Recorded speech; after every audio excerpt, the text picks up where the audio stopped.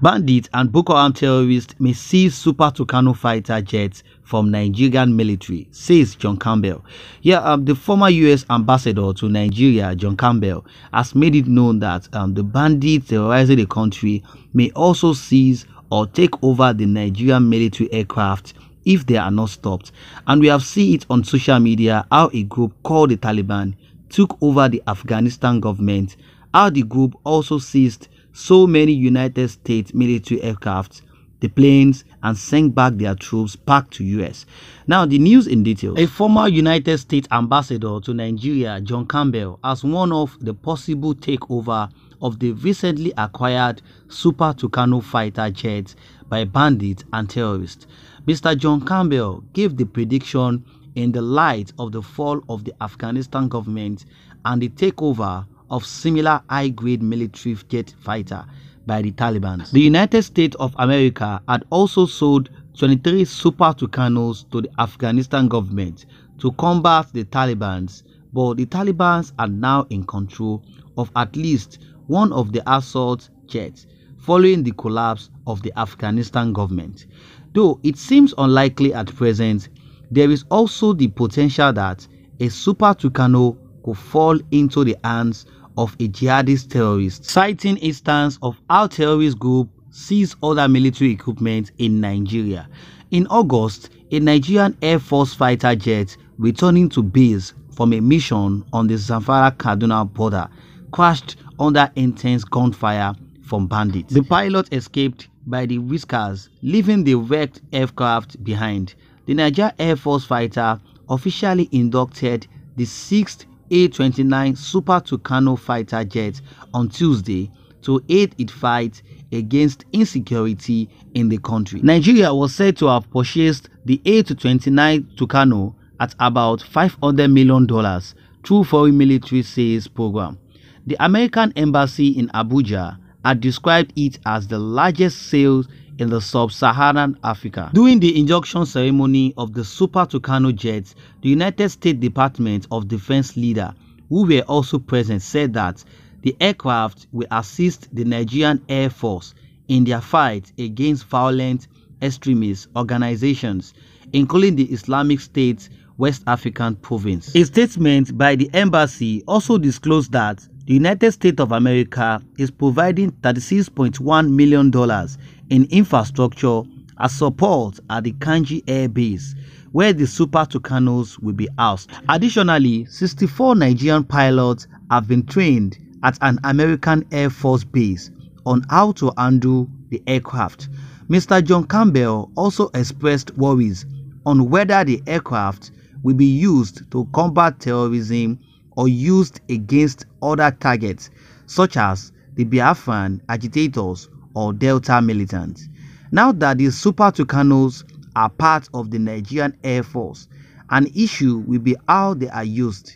Will they be used only against jihadist terrorists in the north, or will there be the temptation to use them against other targets such as the Biafran separatists, the Delta militants, or evil cattle rustlers? Broader use increases the potential for civilian casualties. A Biafran separatist movement, the Indigenous People of Biafra, the IPOB, is suing to block the sale in a Washington, D.C. court. He added, the Nigerian government had over time relied on U.S. arms and military equipment sales to help combat insecurities, while the country battles a myriad of security challenges, critics and right organizations oppose the sale of the aircraft to Nigeria, citing the Buhari's regime constant abuse of human rights. Alright guys, um, that's it for the news now and here is my opinion. Now according to the United States Ambassador to Nigeria, John Campbell, who has emphasized that the terrorists in Nigeria may take over the military forces just like the way the Taliban's did to the United States of America and their Afghanistan government. This is to tell you that there is absolutely no difference with the Taliban group in Afghanistan and the bandits, the Boko Haram terrorists we have in Nigeria. Yeah, because it is already happening. We must have seen um, a news report how some hand um, bandits had attacked a old Nigerian defense academy. So nowhere is safe in Nigeria. So these Taliban had existed for over 20 years because um, they took over the power, which means that they had planned, they had plans all along. Now that uh, in Nigeria we have uh, Boko Haram terrorists, they have been existing in Nigeria for years, and their plans are to destroy Nigeria and to take over the Nigerian military. And you know that um, once a terrorist in, is always a terrorist, once a terrorist should take over the old military forces of any country, I am telling you that that country has already collapsed totally. And the truth of the matter is that if this Tucano that was made mention by John Campbell, who is the um, former US ambassador to Nigeria, could fall into the wrong hands or maybe the hands of the terrorist group we have in Nigeria, being that um, this Tucano was purchased um, by the military forces to fight insecurities and against all these terror groups we have in the country. So if it goes to the wrong hands, they will destroy not only the military forces, they will destroy the country, they will destroy the government. And the truth of the matter is that the newly purchased um, Tucano jets by the federal government, which are which was worth around 500 million dollars, won't be actually seized by the bandits and Boko Haram terrorists, but will be deliberately handed to the terrorist group in Nigeria because the terrorists have infiltrated the military forces and Nigerians are no longer safe in the hands of these so-called military forces. And we know very well that the Nigerian government have no intention in fighting terrorism. They only purchased the Tucano jets to fight the indigenous people of Biafra and the IPOB, those agitating for the division of Nigeria. And these foreign countries, they know about all this. They see everything because the indigenous people of Biafra have raised several alarms on these issues despite they have been a threat to the Nigerian government. Alright guys, uh, we have come to the end of the news. Kindly share your thoughts on the comment section below. What can you say regarding to the statements made by the former United Ambassador John Campbell over the bandits and the Boko Haram terrorists taking over the newly purchased Tucano jet that was brought to fight against insecurities in Nigeria?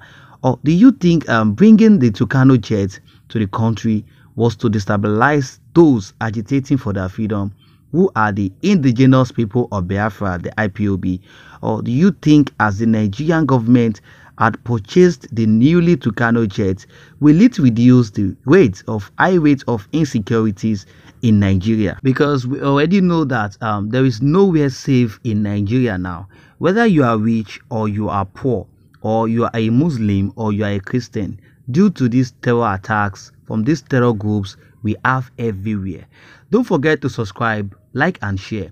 And also you can as well subscribe to our other YouTube channel for more news updates at Jesus Loves You channel and Glee Info. See you next time till I come your way. Bye. Bye bye.